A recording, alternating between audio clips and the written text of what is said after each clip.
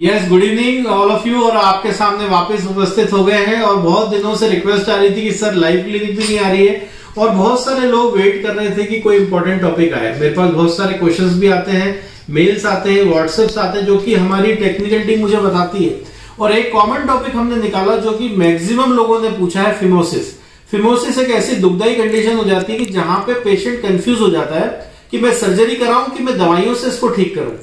सबसे पहले आप सभी लोगों का स्वागत है हमारे इस चैनल में best sexologist doctor dot com में।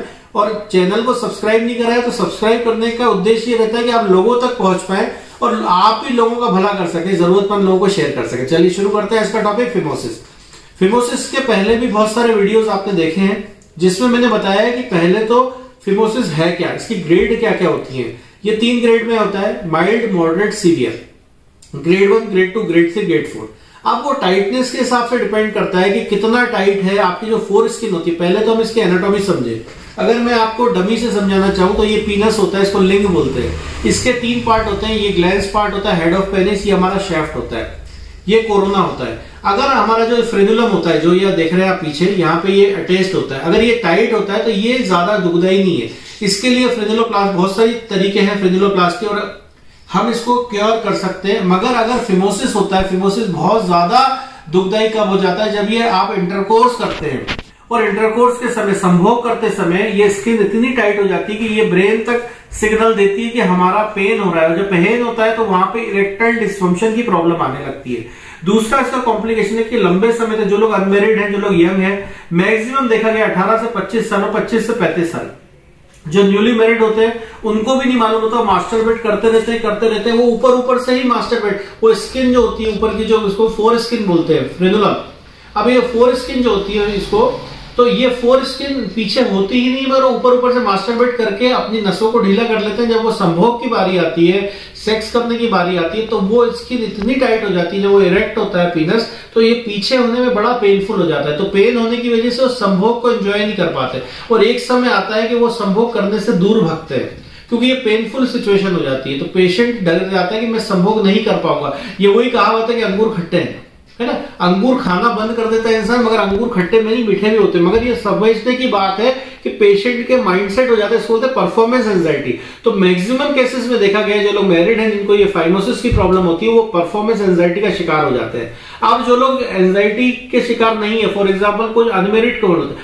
अनमेरिड इंसान के साथ क्या होता है, जो अंदर का, बोल सकते हैं ना कि जो व्हाइट व्हाइट कलर का डिस्चार्ज निकलता है, जो धाप निकलती है या जो नाइटफॉल हो जाता है तो वो अंदर की जगह ऐसे कुछ व्हाइट व्हाइट डिस्चार्ज को जो बोलते हैं ना प्रीकम प्रीकम टाइम का वो अंदर जमा हो है इसकी वजह से उनको बहुत ज़्यादा अनहाइजेनिक कंडीशन स्मेल आती है, बदबू आती है। बहुत अनहाइजेनिक कंडीशन की वजह से भी पार्टनर को प्रॉब्लम होती है सेक्सुअल एक्टिविटी वो नहीं कर पाता है। ऐसे ही आगे जाके ये प्रॉब्लम बढ़ते बढ़ते बढ़ते बढ़ते, ये प्रॉब्लम इतनी सीवियर हो जाती है कि पेशेंट एंजाइटी का शिकार हो जाता है। तो सबसे पहले हम ये बताना चाहेंगे कि डर कर नहीं, डटकर सामना करें। ये पहले भी मेरे कुछ वीडियोस हैं और टेस्टिमोनियल भी हैं जिसमें पेशेंट 100 परसेंट क्योर हुआ है। पहली बात आपको समझने की ज़रूरत है कि 99 परसेंट केसेस में सर्जरी की ज़रूरत नहीं है। ये वीडियो हमें सर्जरी नहीं कराने के लिए नहीं है। ये वीडियो इसलिए है कि आपको ये मालूम चले कि नॉर्मल कंडीशंस भी होती है। पहले हमें समझने की ज़रूरत है और एक कुशल चिकित्सक के पास जाके आपको ये मालूम करना पड़ेगा कि वाकई ये फिमोसिस है कि नहीं है। कहीं ये फ्रिदुलम टाइट फ्रिदुलम का केस तो नहीं है? कहीं ये फ्रिदुलम ऐसा तो नहीं कि आपको कुछ फाइमोसिस था ही नहीं और आप मन में बैठा के बैठे हैं? क्योंकि कभी कभी लोकल एनेस्थीसिया देखे या एक जाइलोकिन जेली होती है, उससे भी स्किन पीछे हो जाती है। कुछ लोग ऑयल मसाज करके भी पीछे कर लेते हैं स्किन को। तो समझने की ज़रूरत यह है कि हमारी सिचुएशन किस ग्रेड की है? और आप बात करते हैं मेडिसिन पार्ट की तो बहुत ही ईजी है। मॉडर्न ट्रीटमेंट की बात करें मॉडर्न होम्योपैथिक की तो zero by one zero by three potency में मेडिसिन बहुत अच्छा काम करती है। सबसे टॉप ग्रेड मेडिसिन है इसकी सिनेबेरिस सिनेबेरिस में स्किन टाइटनेस के साथ हम देखते हैं थ्री पोटेंसी में बहुत अच्छा काम करती है। दूसरी मेडिसिन जो हम देते हैं जेकरेंडा करोवा ये भी एक रेयर मेडिसिन है, मगर बहुत अच्छा काम करती है। तीसरी मेडिसिन है मर्क आयोड और काली आयोड ये दोनों आयोड ग्रुप की मेडिसिन है। लो पोटेंसी में देंगे, बहुत अच्छा काम करती है। एक और मेडिसिन है, जिसमें यूरिन इन्फेक्शन भी होता है साथ में एसिड नाइट्रिका ये भी हमारी मॉडर्न होम्योपैथी की मैजिकल मेडिसिन है। देखिए मेडिसिन तो बहुत सारी है। अगर आप देखेंगे तो मर्कसोल भी काम कर जाएगी सिनेवेरिस भी काम कर जाएगी कैलेडियम भी काम मगर डिपेंड करता है कि पेशेंट के साइन एंड सिम्टम्स क्या है। तो मैं आपको सजेशन दूँगा, अगर ऐसे फिमोसिस का केस आपके सामने है, या आपके कोई परिचित के सामने तो उसको बोलें कि नजदीकी किसी सेक्सोलॉजिस्ट या किसी कुशल चिकित्सक के पास जाके अपना प्राइवेट चेकअप कराएँ। और उसके बाद वो डिसाइड करेंगे कि क्या ये मेडिसिन से ठीक होगा कि सर्जरी से ठीक होगा। हो सकता है लोकल एनेस्थेसिया देके घर में ही वो ठीक कर ले। सेल्फ मेडिकेशन प्रोहिबिटेड होते हैं तो हम यही सजेशन देंगे आपको कि खुद YouTube देखकर, किसी भी वीडियो को देखकर खुद सेल्फ मेडिकेशन ना करें। आप अपने नजदीकी किसी क्वालिफाइड डॉक्टर के पास जाएँ, उनको अपना केस बताएँ, वो आपको रेफर करेंगे तो आप यूरोलॉजिस्ट को भी दिखा सकते हैं, आप सेक्सोलॉजिस्ट को भी दिखा सकते हैं।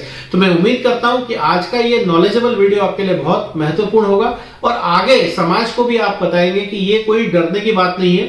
मैक्सिमम केसेस में, अब मैं देख रहा हूँ, पिछले पाँच दस सालों में फिमोसिस के केसेस बढ़ते जा रहे हैं और लोग नीम हकीमों के चक्कर में वापस जाते हैं और वो उनको डरा देते हैं कि तुम तो नपुंसक हो गए हो। ऐसी कोई बात नहीं है, कोई नपुंसकता से इसका कोई रिलेशन नहीं है। सेक्सुअल एक्टिविटी फैमिली प्लानिंग हर चीज़ हो सकती है। तो मैं उम्मीद करता हूँ आज का टॉपिक आपके लिए बहुत इंपॉर्टेंट होगा। कैसा लगा हमें कमेंट सेक्शन में बताइए। और अगला वीडियो कौन सा आप चाहते हैं, हमें बताएँ। हम आपके लिए वो नया वीडियो लेकर आएँगे। जय हिंद, जय भारत, नमस्कार।